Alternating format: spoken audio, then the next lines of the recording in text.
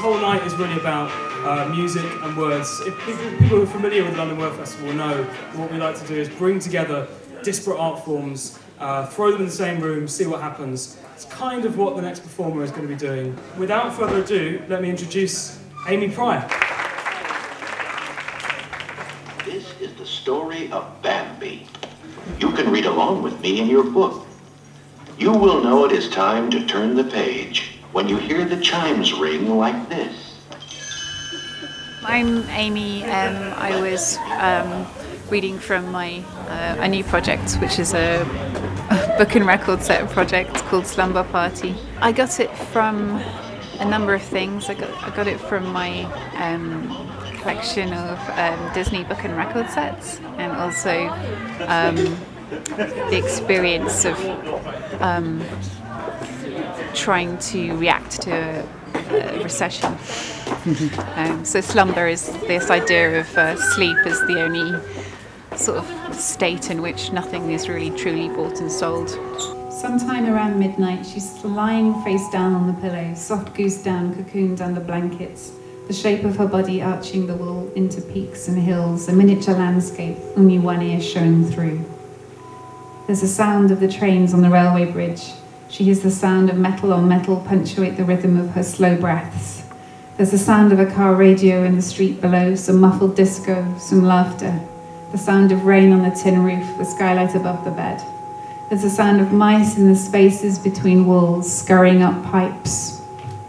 She hears the howls of a fox, the bedside clock, the minutes, one, two, three the distant sound of a woman's scream, a man shouting, the sound of sirens, an aeroplane's high pitched hum overhead. I get ideas from all kinds of things, um, from images, things over here, um, sort of um, sometimes titles. Um, so, sort of a couple of words that can be titles for short shorts. Um, I mean, my um, this collection is just a collection of short shorts, so very short stories that are um, from say 50 words to f- sort of 500 words so quite short me maybe even just most stories will just be a page of the book um, so it's a kind of con- it's a form in itself really the short short so um, which is it's perfect for me because I really like um, lots of different ideas and working on quite a mini- miniature form You're lying in your apartment in that in between state of waking and sleeping, white sheets.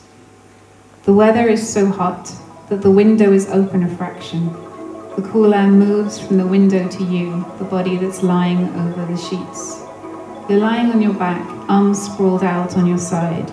It is late summer and the heat has left tan on your skin. You're on your back, then slowly you move onto your front. You've been at parties tonight a rooftop party, an opening party.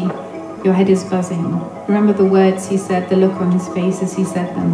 You I suppose my main interest is in making, um, and sort of the, that's the kind of where I get most joy. But I'm also kind of really interested in um, putting writing in spaces that aren't bookshops and shops, so sorts of music venues and galleries.